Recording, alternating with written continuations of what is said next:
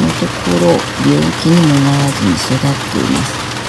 ね、これ長いというので友達がね舌を切った方がいいというのでここ切りました、ね、こんな風にでもねまだこれ房大きいですよね。この中の方ね間引いていかなければなりません。でね袋が入る大きさ。これももっともっと大きくなるらしいんですよね。なのでこの辺りね間引いていこうと思います。なんかね虫に食べられていました。この辺ねこう虫の巣がある感じですね。これはもう、えー、房ごと切除しようと思います。残念です。もう一房減りました。長いから切ります。短くなりました。これでいいのかな。これも長いのでしょうか。言われてみれば長いですね。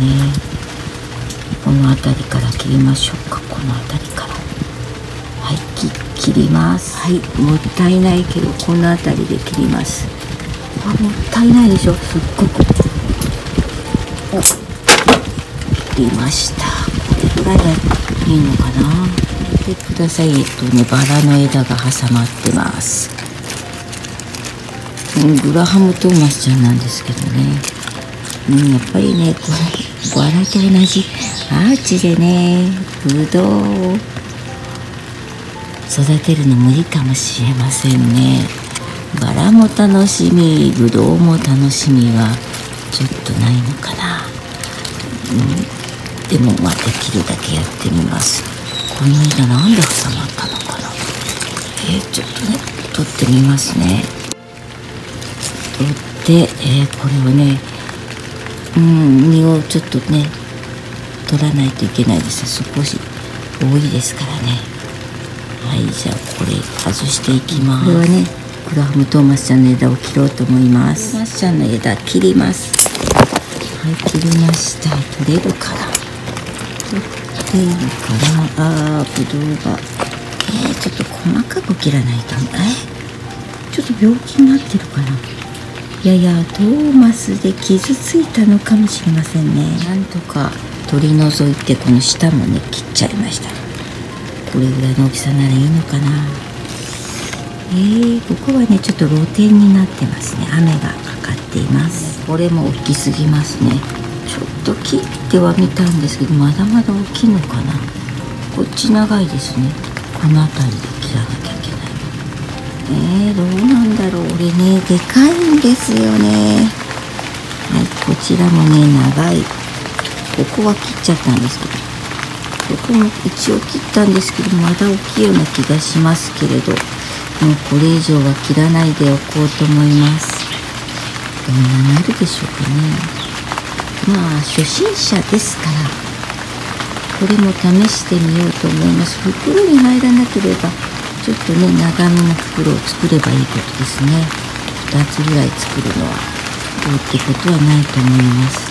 そしてねこういったねちっちゃい子とかえこういったまばらな子。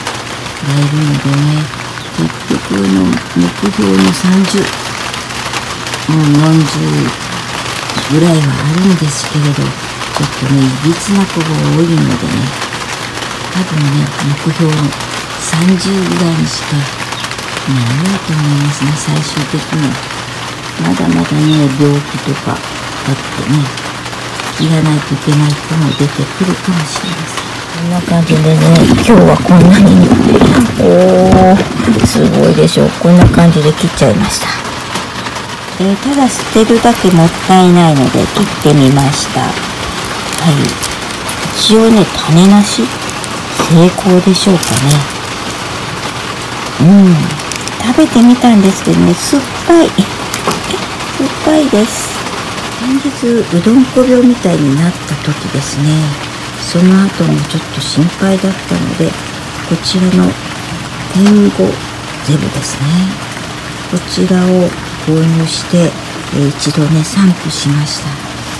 今ちょっとねえっ、と北東病って初めて聞く名前なんですよね。北東ですね。はい、北東病が流行っているみたいなんですよね。で巻いとってよかったかなと思っています。今もねヒヤヒヤしながらここへ来たんですけれど。いい感じに育っててよかったなと思っています。今後ねどのようになるかわかるなわからないんですけれど。袋かけする前にねもう一度、えー、これを散布しようかなと思っています。